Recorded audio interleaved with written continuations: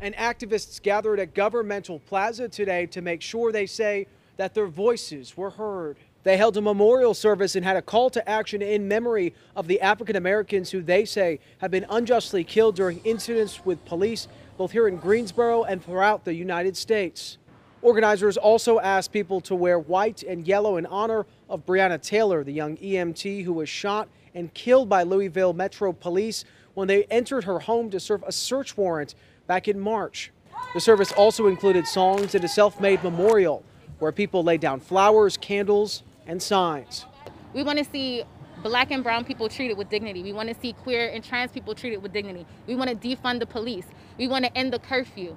After the service, the group marched from the courtyard to the intersection of Freeman Mill Road and West Gate City Boulevard, stopping every few minutes.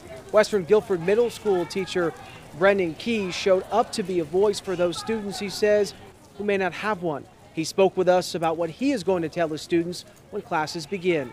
It won't be much of a conversation of what we've done so far. It'll be what have you seen um, and how do they feel like justice is going to be portrayed and given as they move forward and they grow in their life. And the curfew went into effect at 8 p.m. tonight. So far, we have not seen anyone out here tonight. In Greensboro, Justin Schreier, WXII 12 News. Thanks, Justin.